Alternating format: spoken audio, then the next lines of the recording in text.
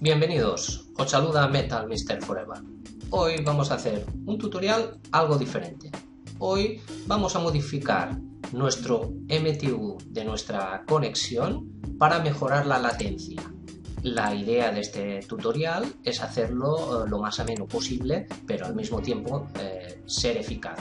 Por eso, en esta ocasión, os pido que mm, tras hacer las pautas que os mostraré, eh, me dejéis algún comentario sección de los comentarios o incluso a través de un correo electrónico eh, que os dejaré también abajo en la descripción del vídeo. Bueno, pues tras este, esta introducción, como siempre, os invito a que me acompañéis.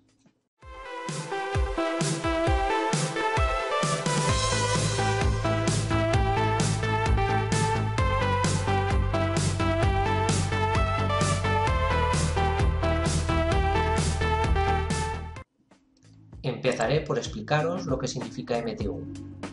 Significa Maximum Transmission Unit o unidad máxima de transferencia.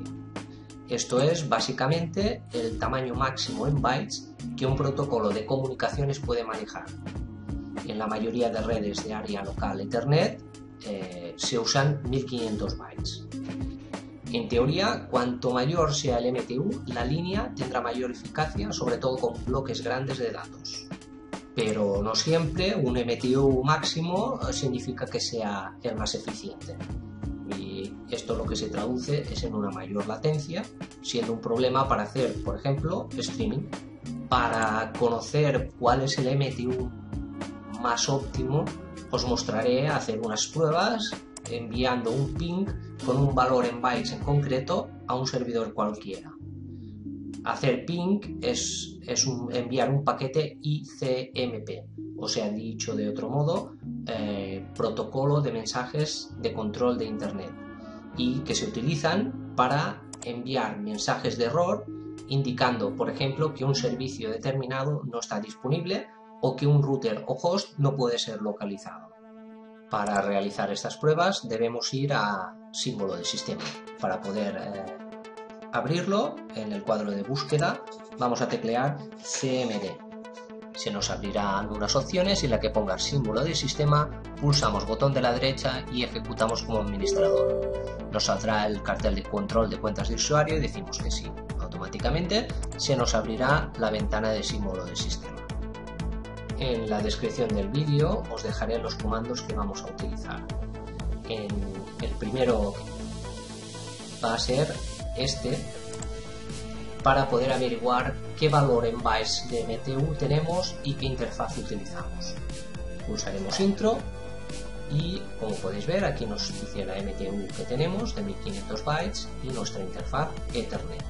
¿Cómo voy a saber que es esta la que yo utilizo? Bueno, pues nos vamos al área de notificación, pulsaremos botón de la derecha sobre red, iremos a abrir centro de redes y recursos compartidos, y aquí ya podemos ver que nuestra conexión es Ethernet. Pero para más seguridad vamos a cambiar configuración del adaptador y aquí nos aparece la lista de todas las conexiones que tenemos. Tenemos la Ethernet 2 que está deshabilitada y una llamada VirtualBox, pero para mi conexión a Internet es esta llamada Ethernet, que como podremos comprobar es la primera que tengo aquí. En la descripción del vídeo os dejaré también unos valores en bytes eh, para poder hacer ping y que suelen ser óptimos eh, para mejorar nuestro, nuestro.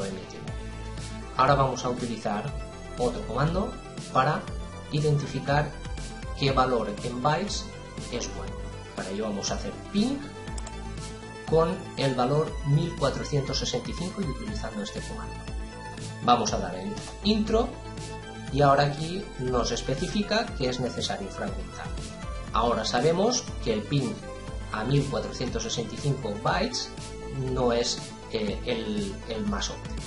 Ahora vamos a utilizar el mismo ping, pero con un número, un valor inferior en bytes.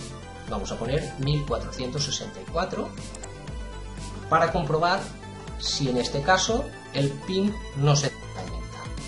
Vamos a aplicar un 4 y vamos a dar en intro y ahora está haciendo las respuestas correctas.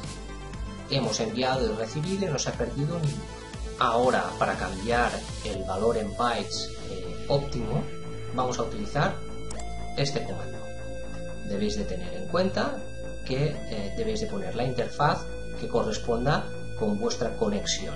En mi caso es la Ethernet, normalmente suele ser.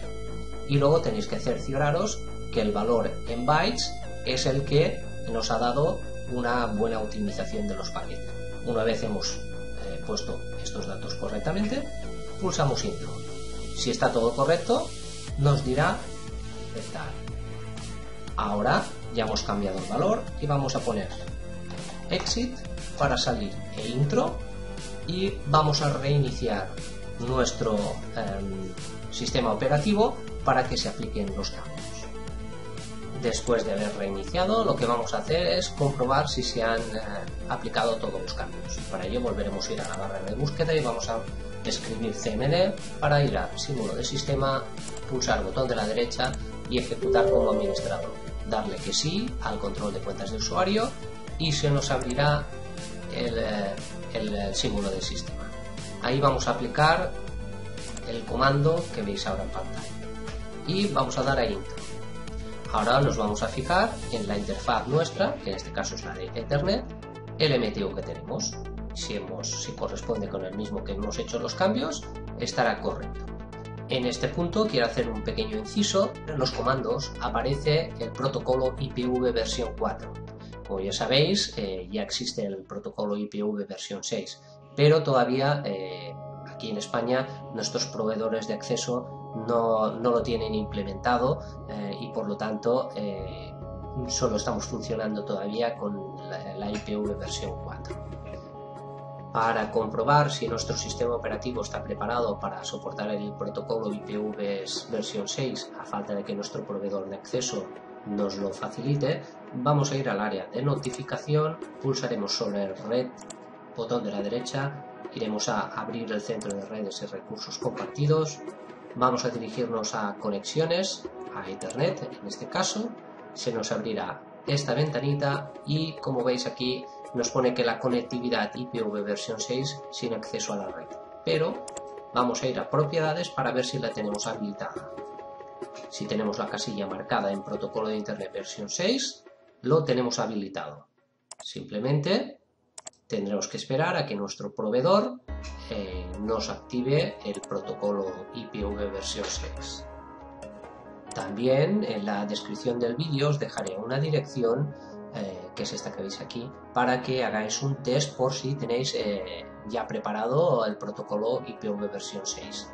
Y aquí pues os dirá pues si lo tenéis eh, en condiciones o no, los tipos de pruebas que, hace. Bueno, está interesante, yo creo que vale la pena que echéis un vistazo y así tendréis un poco más de conocimiento sobre el protocolo IPv versión 6.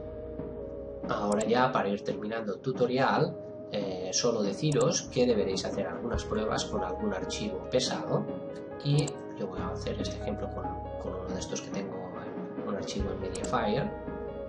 Voy a ir a la sección de la descarga, me voy a mostrar todas las descargas y aquí podré comprobar a la velocidad de, de descarga. En este punto es donde me surgen las dudas y por eso os pido vuestros comentarios porque para mí las pruebas eh, durante las descargas no han sido muy concluyentes.